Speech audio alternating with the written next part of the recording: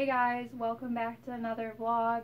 This week's is a pretty chatty one, so I hope you enjoy the company. This week I take you to school with me and to my mentor's house to work on a printmaking project. I also talk a little bit, more like a lot, about my feelings going into the last few weeks of college. It's all catching up with me and I hope some of you can relate. Let this serve as my little therapy session with you. I have some really exciting projects coming up here in the next month or so. Some of them include murals. Yeah, a lot of cool things happening moving into the summer. Grab a cup of tea and calm the F down with me, maybe a little snack. Thank you so much for being here and I hope you enjoy the vlog.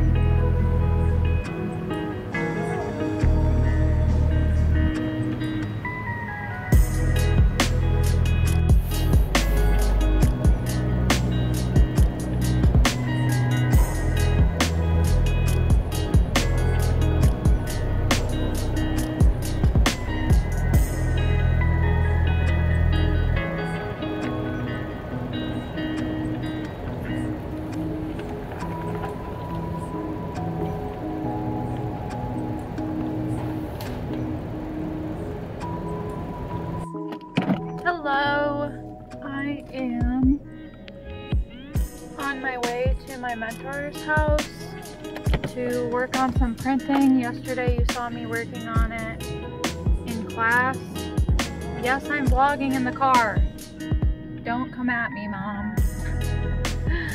I am so glad the weather is nice. It's 80 degrees out, which is like heaven. These are the last couple weeks of the semester and I have final projects to get done. So it's crunch time, baby.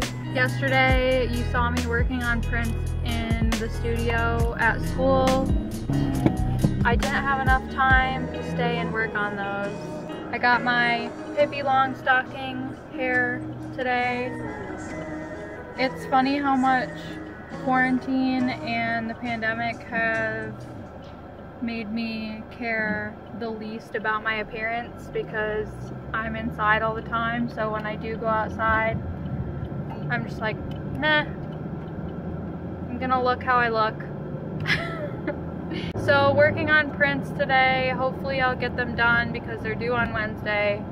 I had to scrap a lot of this project to make it work in time because I'm generally just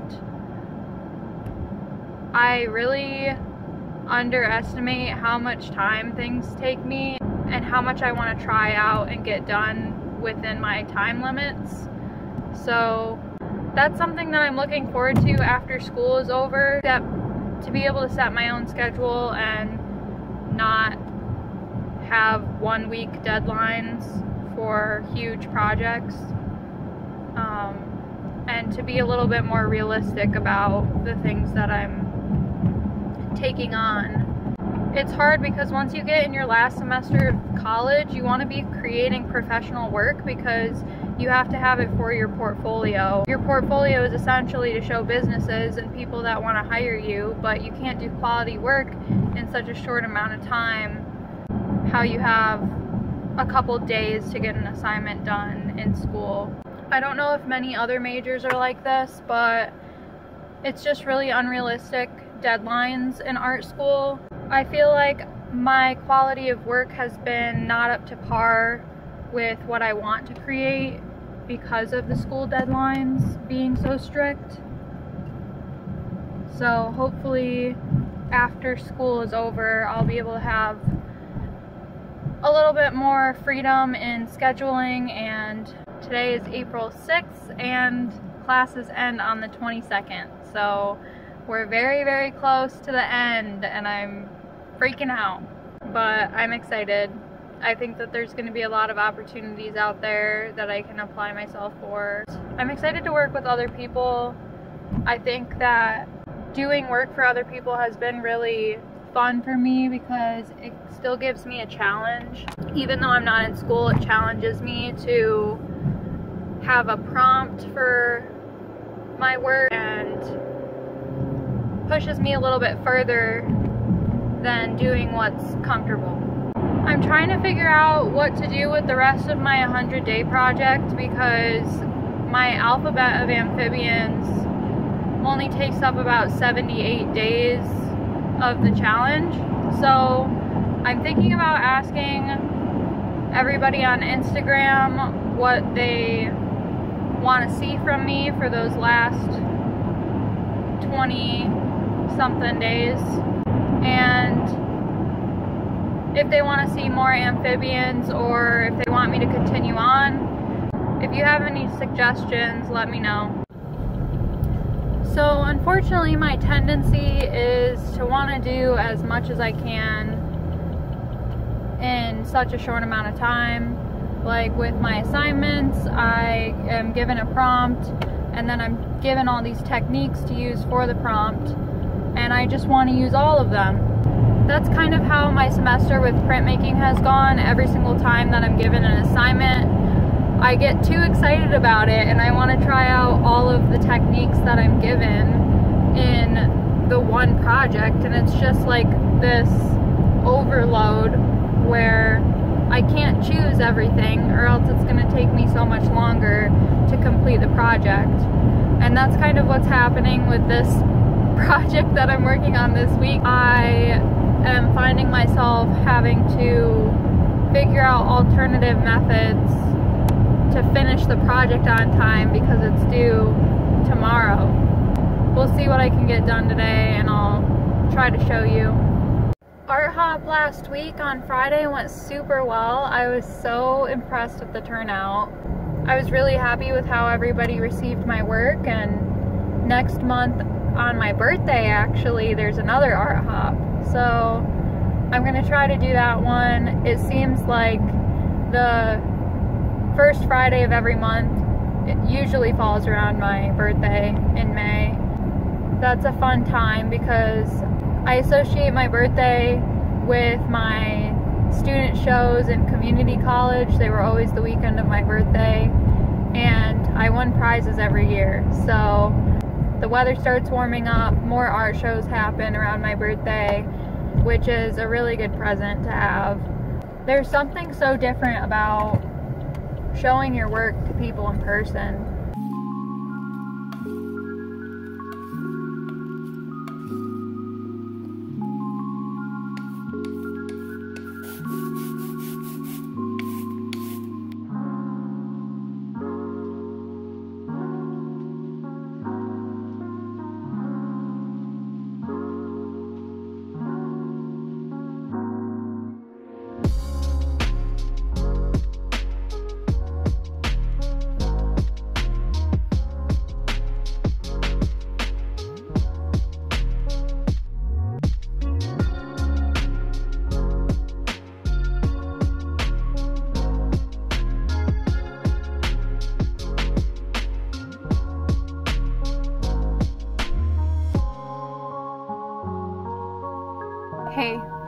you like my shades? Pretty cool, right? One of the downfalls of having glasses. So I am currently at the bank. One of the things that I have to do now that I'm a business, it didn't happen overnight, but it's something that I have to start thinking about is that the money that I invest in myself and get from when people purchase my work has to go somewhere. So I am going to make a separate business account for work expenses. This, my friends, is adulting right here. It's definitely weird thinking that the money that I spend on my business is like something that should be documented separately and I have to spend money on printing products and purchasing postcards and, and purchasing supplies and everything related to my art so I have to get real about documenting that stuff and it's just going to be easier if I have a separate card and a separate account hooked up.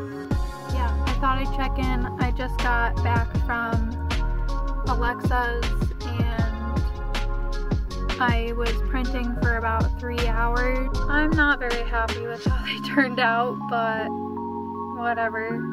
One of my last assignments for school, so I can't take it too seriously. Sometimes you just gotta let it go and it wasn't my best project, but also I've had a lot of other things going on that are for future and things that I should be prioritizing more than my class right now. So I wanted to make them to raise awareness for Earth Day and plastic pollution and I've just been seeing all the trash around ever since the snow has melted and it saddens me.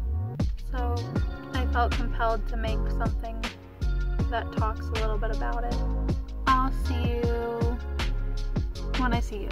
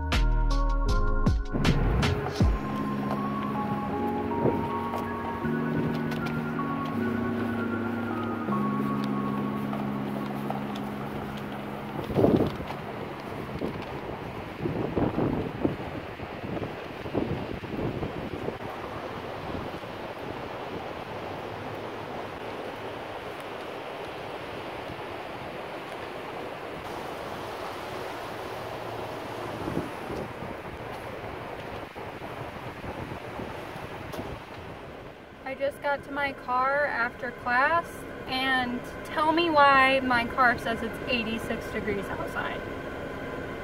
Like, I hate to be ungrateful, but I just want to turn the volume down to turn this, to turn the air down because it's so loud.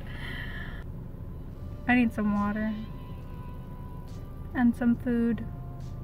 All I ate this morning was four pretzel sticks. I'm not proud of it. It's almost four o'clock and I need to eat something else. I just picked up my work from a student exhibition called Smoke and Ghosts. Um, it was organized by a student. She made a really cool website for it. I don't know how much longer it'll be up for, but I couldn't see the show in person in time, so I got to just go on and see it on the website. It's a whole collaborative show. A bunch of other students participated, a lot of variety of work.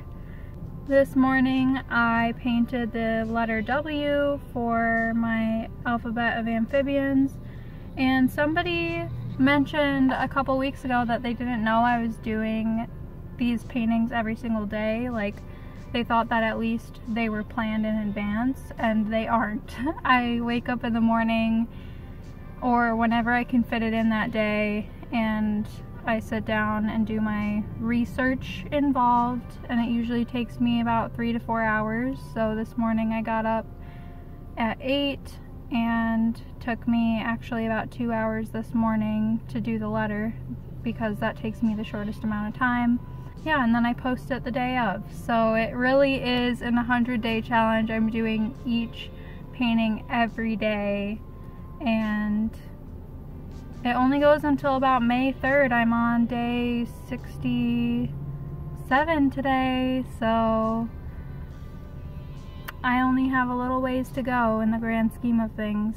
Hey guys, so I just got home from class and I was just thinking about something and I wanted to capture my thoughts here for a second. Um, one of the main reasons why I started making these videos is to be able to look back on them as like a time capsule because these past couple of months realizing that art school is going to be done very soon has made me realize how much it really means to me and I really wanted to capture some of the things that I loved so much about it.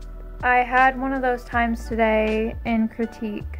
Having a community of artists is so important because you get to bounce ideas off of each other. There's oftentimes a lot behind the pieces that you don't get to know about or um, talk about. Critique is usually the time that you get to share with your peers the purpose behind your work and what you were meaning to convey with a piece and to see if that really came across. And today was very interesting to me. Overall, just a bittersweet experience because it was brought up that we only have five class periods left before the semester's over and then I graduate. It was just so nice to sit and talk with everybody about each person's work. One of the things we talked about was how artwork is such a strong way of conveying a message or subject matter that you feel passionate about but can't quite put into words subjects that are talked about through art that aren't talked about in media or pop culture, things that you don't hear about very often because of the worry that it will upset somebody. Some of these topics were like race, social justice, equality, gender identity, feminism, environmental education, all these things that seem to be hard to bring up in person, but when they're conveyed through a piece of art, I think it gives people time to reflect and step back, internalize the subject rather than being confronted with it. That just makes me feel very proud that I can do that and that I have the power and that so many friends of mine are doing that as well because they're very important subjects that need to be talked about. And if we can create art that provokes conversation about them, that's awesome. So, yeah, I'm being very nostalgic about graduating soon and kind of losing that community. And I'm boring you out of your mind, aren't I? Thanks for listening to me. Thank you so much for being here and supporting my work. If you'd like to see more of my work, you can find me on Instagram at to draw attention or on my website to todrawattention.com. I really appreciate you being here and I'll see you in the next one.